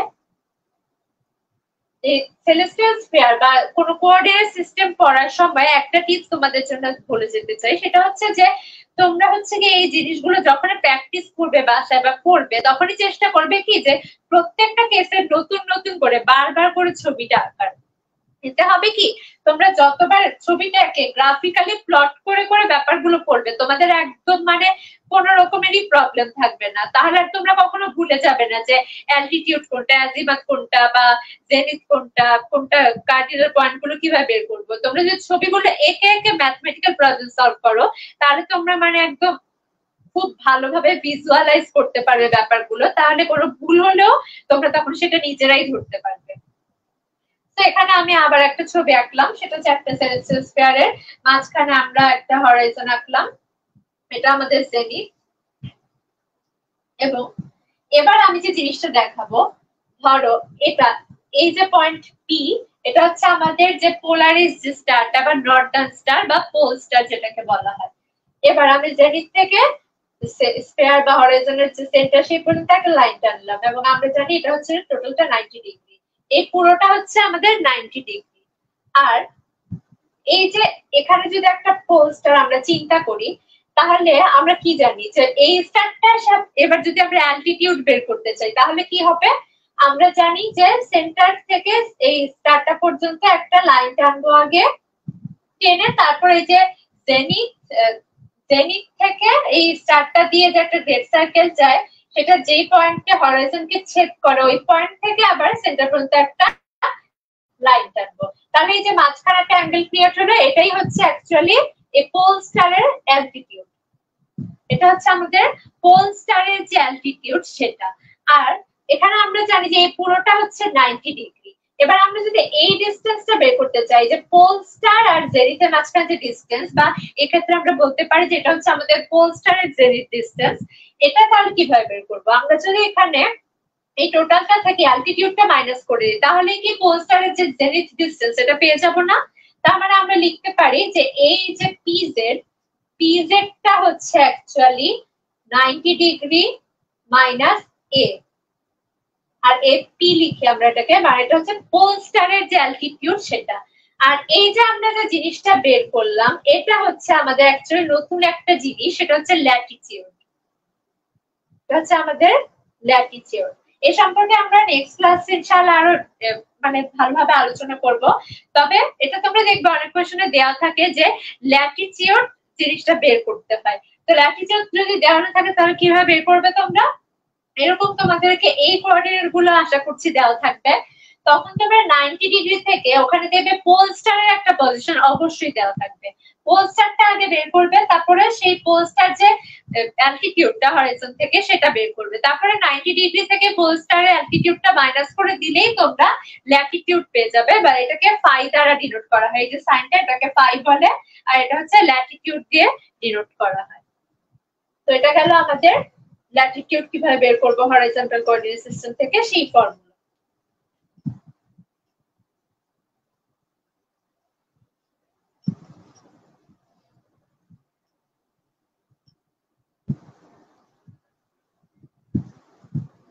আচ্ছা আশা করছি এ পর্যন্ত যা যা বোঝানো হলো ল্যাটিটিউড তারপরে পোল স্টার কোনটা কীভাবে নির্ণয় করতে হয়, আশা করছি তোমরা জিনিসগুলো বুঝতে পেরেছ। এবার আমরা একটা প্রবলেম দেখে ফেলি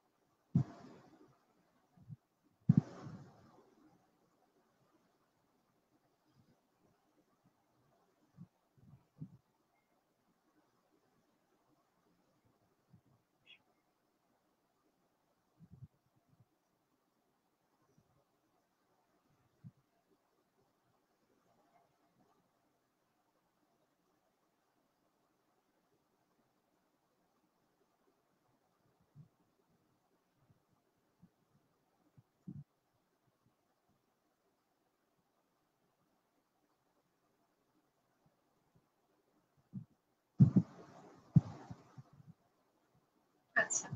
ধরো, এরকম একটা কেসে তোমাকে বলে দেওয়া হলো যে তোমার ল্যাটিটিউড হচ্ছে ফর্টি ডিগ্রি আর তোমাকে এখানে বলা হলো যে তোমার এখানে যে পোল স্টারটা সেটা যে অ্যালটিটিউডটা সেটা তোমাকে বের করতে হবে। কীভাবে বের করবে? তোমাকে এখানে হরিজন দিয়ে দেওয়া হয়েছে এবং তুমি যেহেতু অবজারভার তাই তোমাকে এখানে সেন্টারটা হচ্ছে এই বরাবর।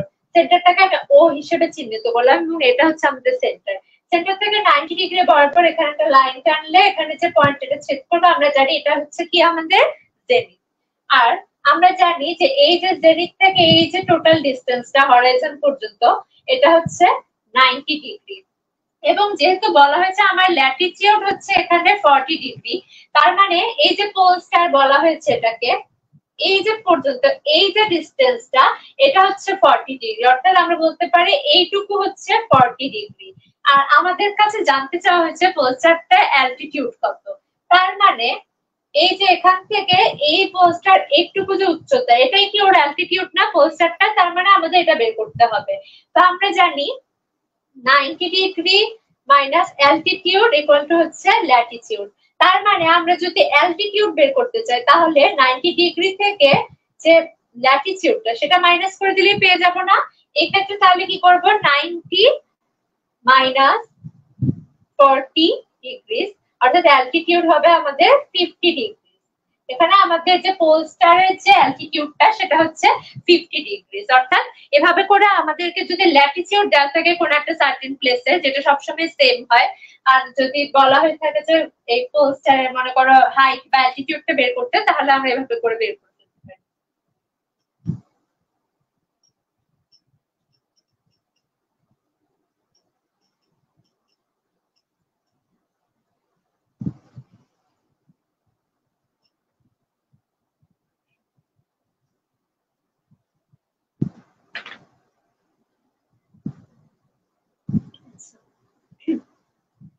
এবার এবার আমরা আজকে লাস্ট একটা সূত্র শিখব, যে সূত্রটা হচ্ছে আমাদের সবসময় এই যে সেলেস্টিয়াল স্পেয়ার এর মধ্যে কাজ করে। সেটা হচ্ছে গিয়ে তোমরা হয়তো অনেকে শুনবে যে কোসাইনের সূত্র, তবে সেটা যে আমাদের যে টু ডি প্রজেকশনের যে কোসাইন বা সাইনের সূত্রগুলো সেরকম না। ফার্স্টে আমরা সাইনের রুলটা শিখবি। সাইনের রুলটা হচ্ছে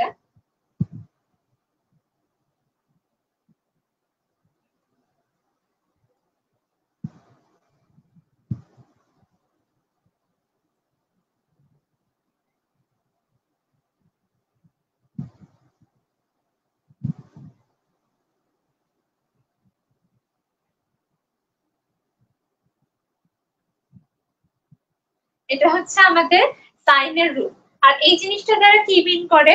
মনে করো, তুমি একটা এরকম একটা স্পেয়ার নিলে, যার মধ্যে তুমি কোনো একটা সার্টেন জায়গার ডিপার্চার বা ডিস্টেন্স যেটা, সেটা বের করতে চাও। এটার জন্য তোমাকে যেটা করতে হবে, সেটা হচ্ছে গ্রেট সার্কেল জিনিসটা নিয়ে আমরা আলোচনা করেছি। তোমাকে যে কোনো তিনটা গ্রেট সার্কেলের অংশ নিয়ে একটা ট্রায়াঙ্গেল ফর্ম করতে হবে। এবং সেটা কীভাবে ধরো ফার্স্টে যে আমরা গ্রেড সার্কেলটা পেতে পারি, সেটা ধরো হরাইজনের অর্ধেকটুকু যদি আমরা আঁকি, এটা কিন্তু একটা গ্রেড সার্কেলের অংশ আমরা জানি। তারপরে মনে করো কোন একটা স্টার যদি এখানে থাকে, তার অ্যাজিমুথাল ডিস্টেন্সটা বোঝানোর জন্য কি? এটা যদি জেনিথ হয়ে থাকে, তাহলে এখান থেকে আমরা আরেকটা গ্রেড সার্কেল আঁকতে পারি। তাহলে এটা হচ্ছে আমাদের আরেকটা গ্রেড সার্কেল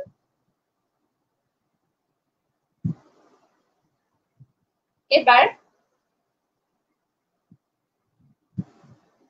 আমরা যদি হচ্ছে কি এখান থেকে এই যে আমরা এই যে রেড সার্কেলটার কথা বলেছিলাম, যেটা অংশ, এটাকে আমরা বলেছিলাম কি? এটা হচ্ছে আমাদের প্রিন্সিপাল ভার্টিক্যাল প্রিন্সিপাল ভার্টিক্যাল এটাও তো একটা গ্রেড সার্কেলের অংশ, আমরা বলেছিলাম না? তো এটা একটা প্রিন্সিপাল ভার্টিক্যাল অর্থাৎ এই যে এখানে যে পয়েন্টটাতে ছেদ করে, এটাকে আমি এম নাম দিলাম, আর এই গ্রেড সার্কেলে হরাইজনকে যে পয়েন্টে ছেদ করে, এটাকে আমি এম নাম দিলাম। এবার খেয়াল করে দেখো তো, এই যে জেড এন এম যে ট্রায়াঙ্গেলটা এটা যে তিনটা যে সাইড এটা তিনটাই কি কোনো না কোনো গ্রেড সার্কেলের অংশ না? অর্থাৎ এটাকে যদি আমি এখানে আলাদা করে আঁকি,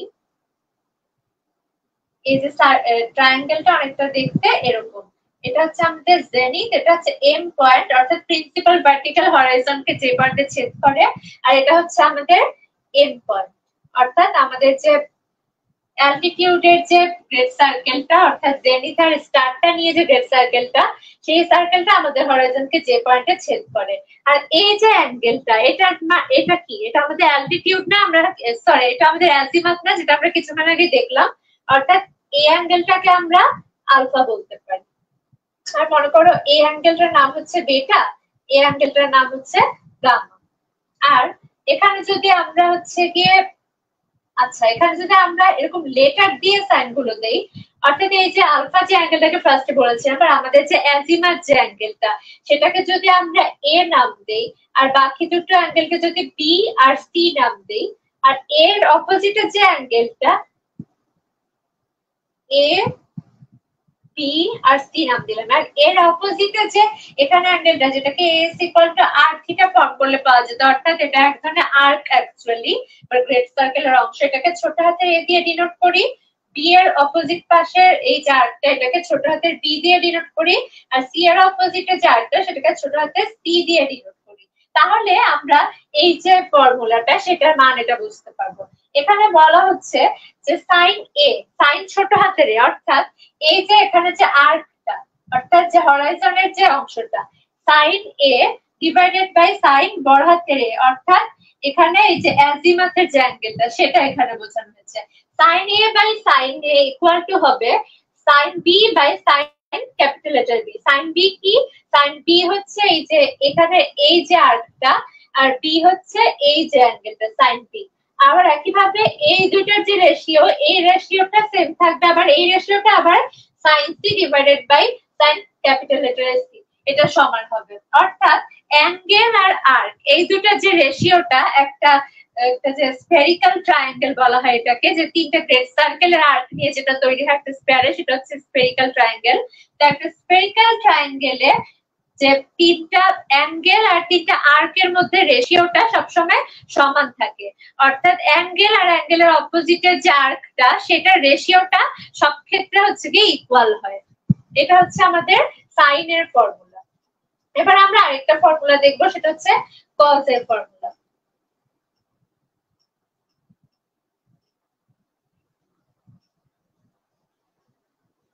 এবং এটাই হচ্ছে আমাদের আজকের শেষ ফর্মুলা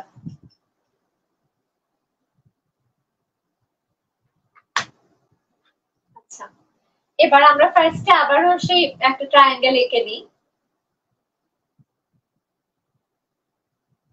ধরো এটা আমাদের একটা স্পেরিক্যাল ট্রায়াঙ্গেল আর স্পেরিক্যাল ট্রায়াঙ্গেলের একটা বৈশিষ্ট্য আছে। যেমন আমরা জানি যে আমাদের যে নর্মাল যে ত্রিভুজগুলো আমরা পড়ি টুলিতে, সেগুলো হচ্ছে তিন কোণের যে তিনটা অ্যাঙ্গেলের যে সাম বা যোগফল, সেটা কিন্তু একশো আশি ডিগ্রি হয়।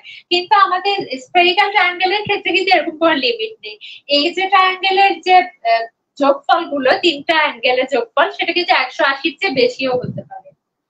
তো ধরলাম, এটা হচ্ছে আমাদের এ বি সি ট্রায়াঙ্গেল যার এই কোণটা এ এই কোণটা সি আর এই কোণটা বি বি এর অপোজিটে এই যে আর্কটা, এটা হচ্ছে ছোট হাতের বি সি এর অপোজিটে এই আর্কটা হচ্ছে ছোট হাতের সি আর এর অপোজিটে এই আর্কটা, এটা হচ্ছে স্মল লেটারে এ এটা হচ্ছে আমাদের সাইড লিন বা আর্ক আর আমরা অ্যাঙ্গেল গুলোকে আগে ডিফাইন করে নিলাম। তারপরে এবার আমরা যে কজের একটা ফর্মুলা শিখব, সেটা আমি আগে লিখছি, লিখে তারপরে ভালো করে এক্সপ্লেন করে দিচ্ছি।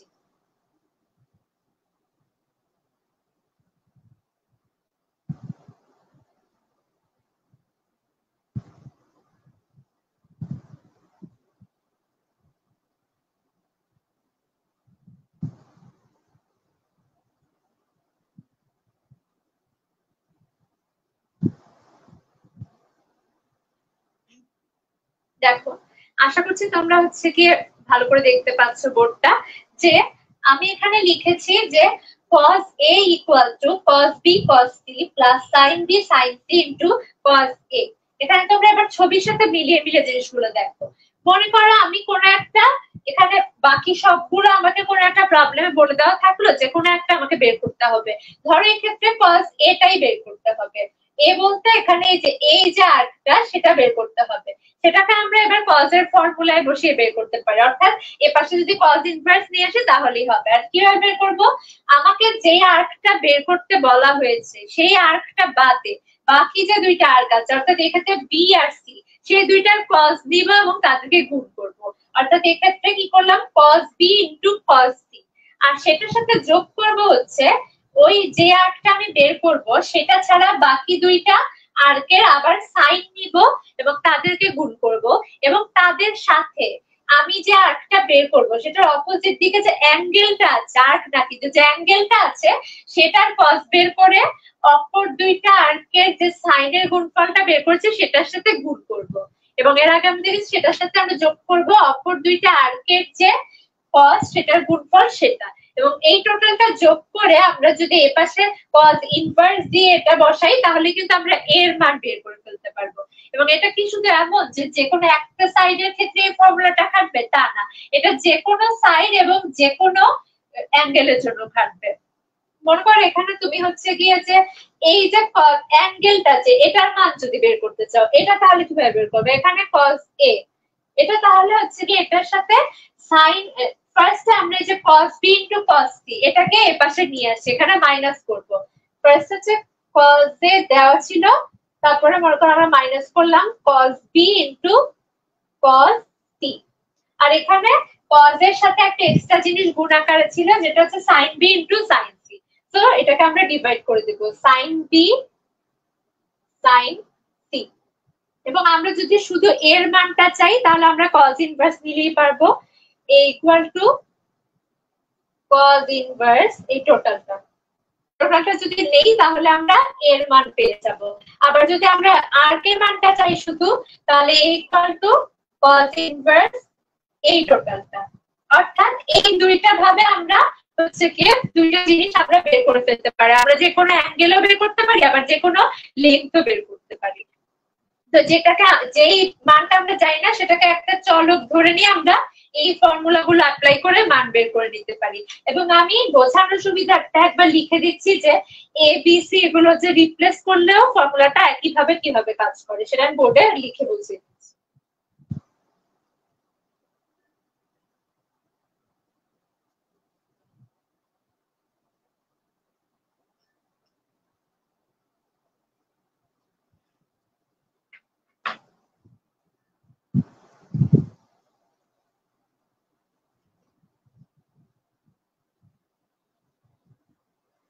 ফার্স্টে যদি আমরা ছোট যে একদম আর্কটা মানে প্রথম যে আর্কটা কজ এ সেটা যদি বের করতে চাই, তাহলে এ ছাড়া বাকি যে দুইটা আর্ক আছে, তাদের কজ এর গুণফলটা নিব। অর্থাৎ কজ বি কজ সি তার সাথে কি যোগ করব?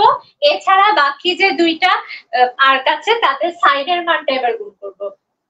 সাইন বি ইন্টু সাইন আর তাদের সাথে আরেকটা জিনিস ভুল করল কি? এই যে কজ এটা যে নিলাম, তার অপোজিটে যে একটা এ অ্যাঙ্গেল আছে না, এটা তো আর আরেকটা অ্যাঙ্গেল আছে না অপোজিটে সেটার কজ সেটা কিন্তু সাইন না, সেটার কজ এবং সেটার কজ এ এটা হচ্ছে যদি কজ এ বের করতে চাই, ঠিক একই ভাবে আমি যদি এ আর এ আর বি যদি জানি, কিন্তু সি জানি না, বা এ আর সি যদি জানি বি জানি না, তাহলে কীভাবে বের করব?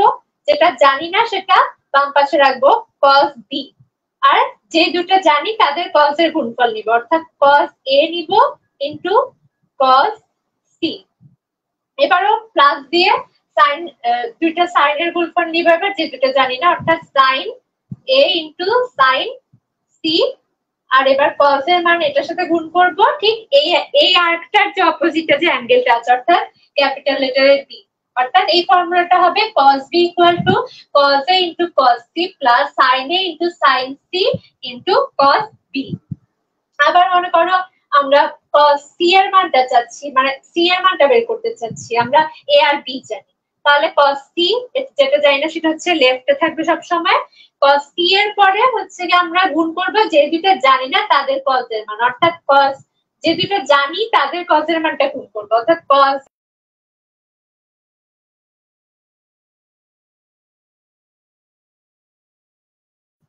সাইন বি আর তার সাথে যেই আর্কটা বের করতে চাচ্ছি, তার অপোজিট দিকে যে অ্যাঙ্গেলটা সেটার কস এর মানকে গুণ করে দিব। অর্থাৎ কস ক্যাপিটাল লেটার সি তোমরা যদি এভাবে তিনটা ফর্মুলা বা অন্য এক্স ওয়াই জেড ধরতে পারো এবিসি এর জায়গায়, এরকম বিভিন্ন চলক বসিয়ে বসিয়ে বারবার যদি এই ফর্মুলাটা একটু প্র্যাকটিস করো, তাহলে কিন্তু তোমরা হচ্ছে কি তোমাদের ফর্মুলাটা আয়ত্তে চলে আসবে। যেহেতু ফর্মুলাটা একটু বড়, তোমাদের একটু ট্রিক করে মনে রেখে বের করতে হবে। এটা মনে রাখার একটু সহজ বে তোমাদেরকে বলে দেই, সেটা হচ্ছে যে যেই জিনিসটা যে আর্কটা তুমি মনে করো বের করবা, সেটা একটা ফর্মুলা মনে রাখলে কিন্তু তুমি এটার থেকে রিভার্স করে অ্যাঙ্গেলেরটা বের করতে পারবা। তো আর্কেটা মনে রাখাই যথেষ্ট। আর্কেটা যে আর্কের মানটা তুমি জানো না, সেটার কস্টটা হচ্ছে সবসময় তোমার লেফট হ্যান্ড সাইডে থাকবে। ওটার সাথে আর কিছু থাকবে না। আর একটা ট্রায়াঙ্গেলের টোটাল তিনটা আর্ক হওয়া সম্ভব। তার মানে একটা তুমি জানো না, আর বাকি দুইটা জানো। তো এখানে তুমি যেহেতু কজেরই ফর্মুলা দিয়ে শুরু করছ, তার মানে তোমার শুরুটা কজ দিয়ে হবে। তুমি বাকি যে দুইটা আর্কের মান জানো, তাদের কজের গুণফলটা নিবা যেমন এখানে কজ বি ইন্টু কজ এবং সেটার সাথে প্লাস করবা কজ যেহেতু নিয়েছো কজের সাথে সাথে আরেকটা জিনিস আমাদের মাথায় আসছে, সেটা হচ্ছে সাইন তুমি যে দুইটা বাহুর বা যে দুইটা আর্কের মান জানো, তাদের সাইনের গুণফলটা নিবা আর এখানে তোমরা জানো যে একটা আর্কের সাথে অবভিয়াসলি তার যে অ্যাঙ্গেলটা সেটা সম্পর্কিত এবং সেটা হচ্ছে এর জন্য অপোজিটে যে অ্যাঙ্গেলটা সেটা হচ্ছে ক্যাপিটাল লেটার এ এবং এই ফর্মুলাটা যেহেতু কজের ফর্মুলা তো এখানে এ রিলেটেড যা কিছু সবসময় সেটা কজ দিয়েই হবে। তার মানে লাস্টে যে সাইন বি আর সি হলেও লাস্টে কিন্তু কজ ইন্টু এ হবে বা ক্যাপিটাল লেটার এ অর্থাৎ এই যে আর্কটা আর্কের অপোজিটে যে অ্যাঙ্গেলটা সেটার কজ গুণ করব। এবং একইভাবে এই বাকিগুলো এবং তোমাদের কাছে যে চরক থাকবে, তোমরা প্রয়োজন মতো সেটা বের করে নিতে পারবে। আচ্ছা আশা করছি এ পর্যন্ত যা যা বললাম তোমরা ক্লিয়ারলি বুঝতে পেরেছ। কারণ এই জিনিসগুলো এভাবে যদি একটু ভালো করে খেয়াল করি, তাহলে হচ্ছে কি বুঝতে ইজি হওয়ার কথা। তো দেখি তোমরা কমেন্ট থেকে কি জানিয়েছো। আচ্ছা ফায়াজ আলী মুক্তাদি ভাইয়া বলেছে থ্যাংকস আপু, একবার ভালো করে দেখলেই মুখস্থ হয়ে যাচ্ছে। আচ্ছা থ্যাংকস ফর দ্য কমপ্লিমেন্ট ভাইয়া। এবং আশা করছি যে তোমাদের সবারই, যদি তোমরা একটু মানে এভাবে করে বারবার লিখে লিখে প্র্যাকটিস করো, আর এর আগের যে জিনিসগুলো দেখালাম, সেগুলো যদি বারবার স্পেয়ারগুলো একে একে প্র্যাকটিস করো, তাহলে ইনশাল্লাহ অবশ্যই তোমাদের ভালো করে আয়ত্তে চলে আসবে। এবং তোমাদের পরবর্তী যখন তোমরা প্রবলেম সলভ করতে যাবা, তখন দেখবা এই জিনিসগুলো ইজিলি তোমরা চিন্তা করে নিতে পারছ এবং আলটিমেটলি এগুলো মনে থাকবে। তখন আর কোনো সমস্যা হবে না তো আমাদের আজকের ক্লাসের টপিক এই পর্যন্তই, অর্থাৎ আমাদের সব টপিক পড়ানো শেষ। আজকের ক্লাসে আমরা কি কি নিয়ে আলোচনা করেছি সেটা একবার আমি বলে দিচ্ছি শুরু থেকে। আজকের ক্লাসে আমরা একটা নতুন কোঅর্ডিনেট সিস্টেম শিখেছি, সেটা হচ্ছে হরাইজন্টাল কোঅর্ডিনেট সিস্টেম আমরা জেনেছি যে এই যে কোঅর্ডিনেট সিস্টেমটা সেটা একটা স্পেয়ারের সাথে সম্পর্কিত এবং এর একটা হরাইজন থাকে এবং এটা থেকে great circle small circle centre এই ব্যাপারগুলো কীভাবে বের করতে হয় সেটা আমরা দেখেছি। তারপরে এখান থেকে হচ্ছে গিয়ে যে জেনিথ বা চারটা যে কোঅর্ডিনাল কার্ডিনাল পয়েন্ট বা জেনিথ নাদির এই যে বিন্দুগুলো, এগুলো কীভাবে বের করতে হয় সেটাও আমরা শিখেছি। তারপরে এটারও যে জেনিথের যে আর্কটা, তারপরে হরাইজন, এইটার মাঝেও যে ওই এক্স ওয়াই প্লেনের মতো যে নাইনটি ডিগ্রি অ্যাঙ্গেল সেটা আমরা চিহ্নিত করেছি। আর তারপরে এটার যে অ্যালটিটিউড আর অ্যাসিমাত এই দুইটা জিনিস কি এবং সেটা কীভাবে নির্ণয় করে, কোন ইউনিটে নির্ণয় করে, বা ইউনিটগুলো কীভাবে কনভার্ট করতে হয়, সে ব্যাপারে একটা হালকা ধারণা পেয়েছি আমরা। এবং এক্স ওয়াই যে প্লেন অর্থাৎ আমাদের যে কার্টেসিয়ান কোঅর্ডিনেট সিস্টেম সেটার সাথে মিল করে আমরা হরিজন্টাল কোঅর্ডিনেট সিস্টেমটাকে কীভাবে ভালো করে বুঝতে পারি আর সেটা প্রবলেম সলভ করতে পারি, সেই ব্যাপারটা আজকে আমরা দেখেছি। এবং ফাইনালি আমরা হচ্ছে গিয়ে যে একটা স্পেরিক্যাল ট্রায়াঙ্গেল ইউজ করে কীভাবে আমরা কোনো একটা আর্কের মান বা কোনো একটা অ্যাঙ্গেলের মান যেটা অন্যগুলোর মাধ্যমে বের করতে পারি সেটা শিখেছি। প্লাস আমরা হচ্ছে কোনো একটা জিনিসের যে ল্যাটিটিউড জেনিথ ডিস্টেন্স বা অ্যালটিটিউড কীভাবে নির্ণয় করতে হয়, এই যে ফর্মুলা গুলো যেগুলো আমাদের লাগবে সেগুলো আমরা আজকে ক্লাসে ভালো করে দেখেছি। তো যারা যারা ক্লাসটা ভালো করে বুঝতে পারোনি, তো কোনো সমস্যা নেই। আরেকবার ভিডিওটা দেখে নিলেই বুঝতে পারবে, আমি আশা করছি। এবং যারা যারা ক্লাসটা মিস করেছ, তারাও কাইন্ডলি ভিডিওটা শুরু থেকে শেষ পর্যন্ত ভালো করে দেখে নিও।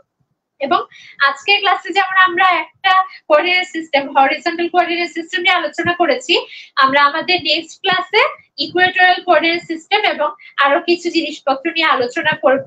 সে পর্যন্ত তোমরা সবাই ভালো থাকো, সুস্থ থাকো। আসসালামু আলাইকুম সবাইকে।